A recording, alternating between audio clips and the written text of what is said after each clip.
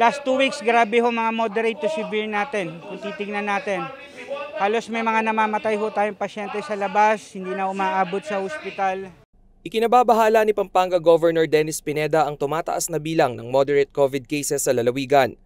Ayon sa World Health Organization, ilan sa mga sintomas ng mga moderate COVID patients ay lagnat na hindi bababa sa 37.7 degrees Celsius. Panginginig o chills, tuyong ubo, fatigue, muscle pain at shortness of breath. Sa ngayon, 10% raw ng mga aktibong kaso sa Pampanga ang klasipikado bilang moderate cases.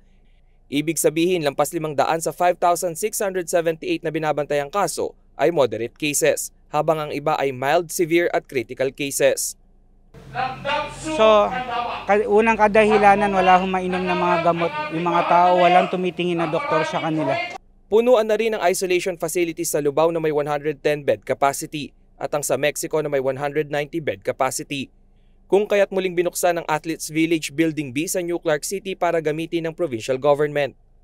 Mayroon itong 250 bed capacity na laan para sa mga kabalen na nagpapakita ng COVID mild symptoms at maging asymptomatic cases. Noong huling linggo ng Hulyo ay naabot na ng Jose B. Lingad Memorial General Hospital ang full capacity nito. Halos puno na ang 481 beds sa COVID ward kung kaya't dalawang tents ang itinayo sa labas ng ospital bilang makeshift COVID wards. Muli namang ipinaalala ng Provincial IATF ang kahalagahan ng household lockdown kung saan hindi muna maaaring magpapasok ng sinumang bisita sa isang bahay o compound kahit baka mag-anak ang mga ito. Sa bagong labas na MCQ with stricter guidelines na lift na ang liquor ban, subalit tanging magkakasama sa iisang bahay ang maaaring mag-inom. Tigilan muna ho natin yung okasyon ng bahay-bahay, lipatan ng bahay, kumain ng salo-salo kung hindi kung hindi naman kayo belong to one residence, tigilan muna po natin yun. Kung ang regional COVID bulletin ang pagbabasihan, nasa 0.77% lang ang moderate COVID cases sa buong rehiyon.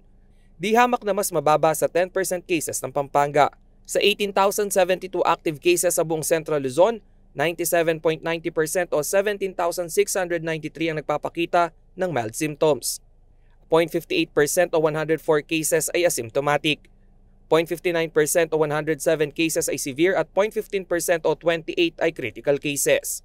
Rainiel Pawid, CLTV News.